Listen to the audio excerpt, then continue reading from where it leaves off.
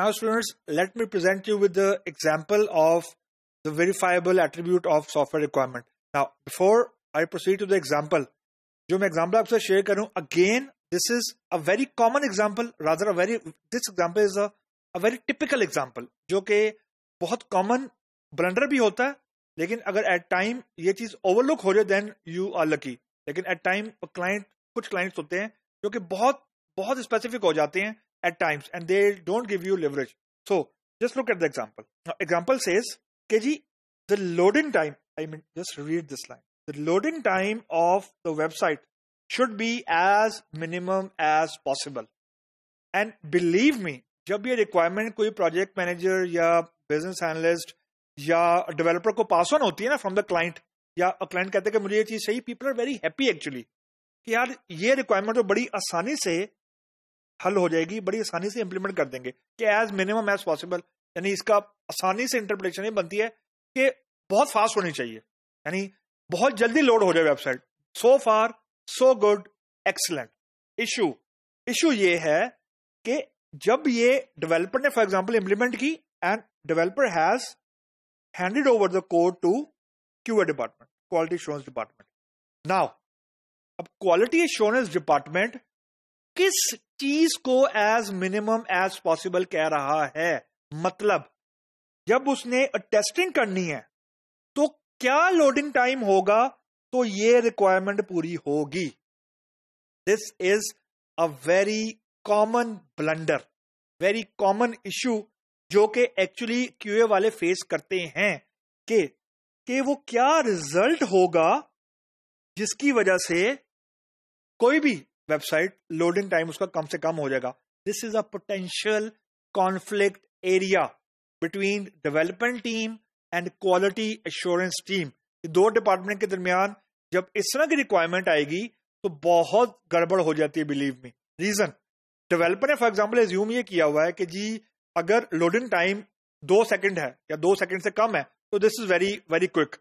और QA department ये कहते हैं कि दो सेकंड तो बहुत ज़्यादा है। It should be in millisecond so issue क्या हुआ? कि एज मिनिमम एज पॉसिबल की इंटरप्रिटेशन एक नहीं है। यानी कोई एक जगह पे सेंट्रली ये डिफाइन नहीं किया हुआ कि what is as minimum as possible and this is very common thing इसकी बेस्ट सजेशन जो आपको मिलेगी, वो ये है, जब इस तरह की सिचुएशन आए always ask for a numeric value don't just go to the textual interpretation यानी ओपन एंडेड ना छोड़ें चीज़ों को, खासतौर पर इस सिचुएशन में। If you would have just committed with the client क्योंकि जी minimum loading time should be at most two second now two second is a benchmark यानी दो मैक्सिमम हो सकता है, इससे ज़्यादा नहीं हो सकता। तो अब डेवलपर को पता है कि जब उसने कोड लिखना है तो उसने दो को दिमाग में रखना है। कि अगर दो हिट हो रही है loading time that's fine same is true with quality assurance department कि जो क्वालिटी एश्योरेंस डिपार्टमेंट है, जब वो ये टेस्ट केस को क्लोज करेगा, या यूज़ केस को क्लोज करेगा तो वो सबसे पहले ये टेस्ट करेगा कि जो डेवलपर ने कोड उसे शिप किया है, या एक रिलीज़ में भेजा है, क्या वो दो सेकंड से ज़्यादा तो नहीं लगेगा लोड होने में? Simple as that now the things will be close ended और अमूमन ये होता है कि जब इस तरह की रिक्वायरमेंट देके कोई क्वेश्चन ना पूछे this is actually not a very good scenario this is actually indicator कि there is something wrong in the going यानी कुछ गड़बड़ हो रही है, लेकिन वो अभी उसको लोग सेंस नहीं कर पा रहे. So again as minimum as possible etcetera shall be इस तरह के कीवर्ड्स को स्निफ किया करें. यानी you have to look for these keywords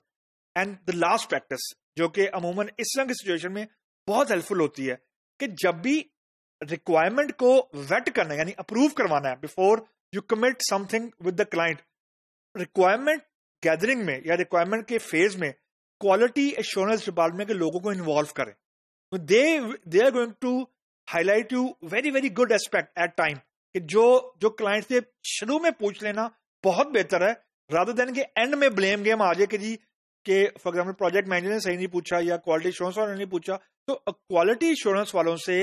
जो, का जो डिपार्टमेंट है, उससे रिक्वायरमेंट्स को अमूमन वेट करवाना चाहिए या, या करवाते हैं just to make sure we we we didn't miss out anything very common